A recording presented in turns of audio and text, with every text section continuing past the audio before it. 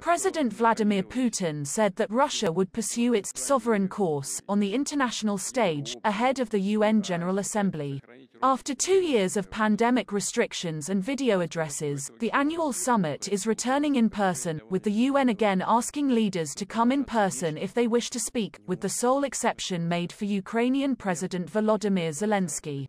As for Russia, we will not deviate from our sovereign course, the Russian leader said in televised remarks. He said that Russia as a permanent member of the Security Council would work towards unity, help tackle global problems and contribute to the settlement of acute regional conflicts.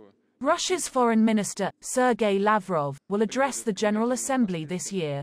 Putin, during a televised meeting with newly appointed foreign ambassadors in Moscow, cautioned that global development was being hindered by the role of the United States abroad.